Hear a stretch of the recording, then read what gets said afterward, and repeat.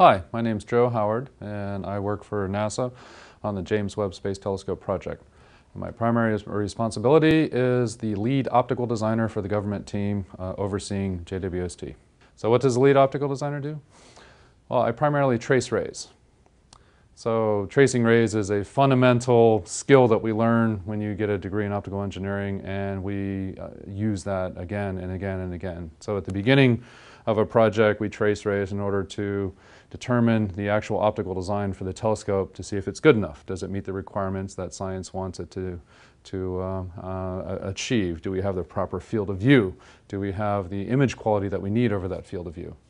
Later in the project, after the, the design is set, then we're tracing rays uh, in an optical model to determine if the if the, uh, uh, the actual components that are being built for the optical system, that is the secondary mirror, let's say we have data on how the secondary mirror looks, um, does that still meet our image quality requirements? So we're tracing rays using as-built data in our optical model to see if the uh, system is uh, still performing the way we want it, is it within tolerance, and, and that that, uh, um, that sort of aspect. So, so and, and finally, towards the end of the Opta, uh, towards the end of the uh, ground program for James Webb, uh, we will have the entire observatory in an end-to-end test, and with all of these components built up into it. And and as an optical, as the lead optical designer, I trace rays to simulate this test to predict what we will.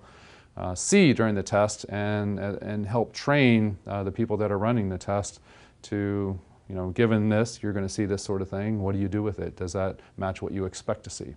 So in a nutshell, as a lead optical designer, I trace rays.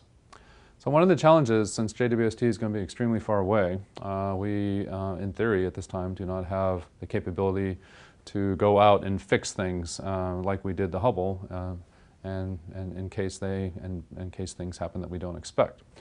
So uh, one of the design uh, aspects of JWST is to build uh, extra movement capability in the mirrors uh, that need to be aligned. So for example, uh, on the 18 segmented primary mirror, each one of these mirrors has the ability to move in a full six degrees of freedom. They can tip, tilt, piston, move sideways and up and down in order to align themselves next to each other to have this perfect dish uh, that is the primary mirror. The secondary mirror is also movable in a full six degrees of freedom. Only five are really effective. But uh, the secondary mirror needs to be focused just right since that's kind of the primary focusing element for the uh, telescope. And so those are, the, those are the main moving mechanisms in order to align the telescope. Uh, in the back of the telescope we have four primary instruments, uh, instrument packages, and uh, these instruments have the ability to set their own focus such that when the telescope sets a common focal surface, the instruments can move their individual focuses to that focal surface. So with the primary mirror actuators, the secondary mirror actuator, and the individual science instrument uh, focus mechanisms, uh, they have extended ranges to ensure that if something slightly goes wrong, that we can fix it. So for space astronomy, uh, JWST is one of the first uh, missions to actually deploy this much, the primary mirror. And uh, and, and part of that deployment and getting the primary mirror phased, uh, we had to develop quite a bit of technology in order to phase the primary mirror uh, using image-based methods. And, and we refer to this typically as wavefront sensing and control. So we use a phase retrieval process. That is, we take pictures of a star that is highly out of focus, both on one side of focus and the other side of focus, and do a lot of analysis on this data uh, to determine exactly how the primary mirror segments have to be moved.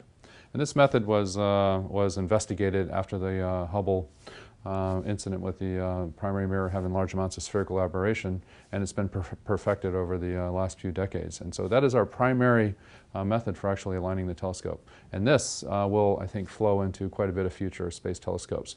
The ability to use your science instruments Okay, so this is a, an, uh, an, instrument that you are including in the mission just for science. And that science instrument, not only does it provide the science, but at the beginning of the mission, it gives you data in order to align your observatory. Uh, other, uh, other telescopes have a separate instrument to do this alignment, but this uh, capability of doing it with the science instruments is, is, uh, is rather nice because then you don't have to add additional uh, mass or weight for your you know, spaceflight launches. And